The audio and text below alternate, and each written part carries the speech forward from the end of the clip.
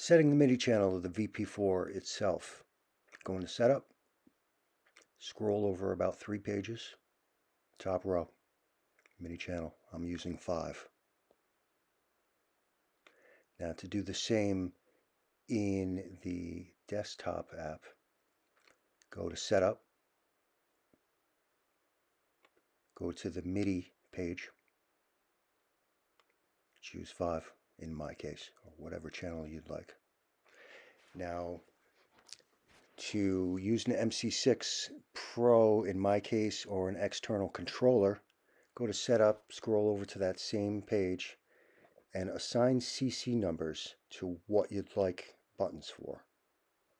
I'm doing the tuner, and then preset and scene up and back. I'm assigning them all these CC numbers.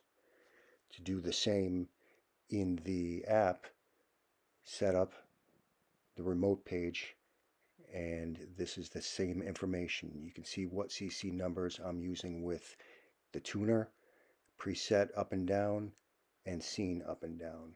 We're going to use those next. MC6 Pro, um, you can see my presets to the right. Well, that's title preset. Press action is going to do a CC message.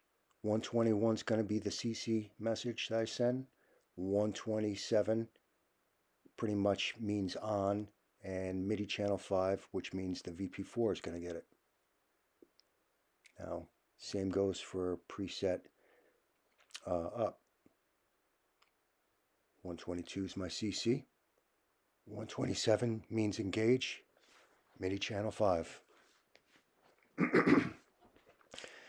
and just go through, I did the same for scene, up and down.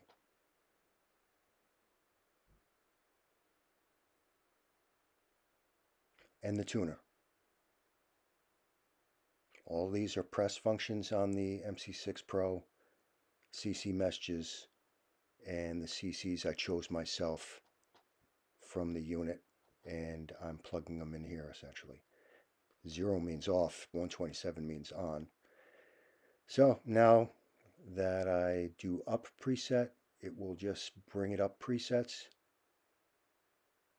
Opposite for down preset. Scenes, I can scroll up scenes and down. And the tuner. Button for the tuner. There it is, quick and dirty.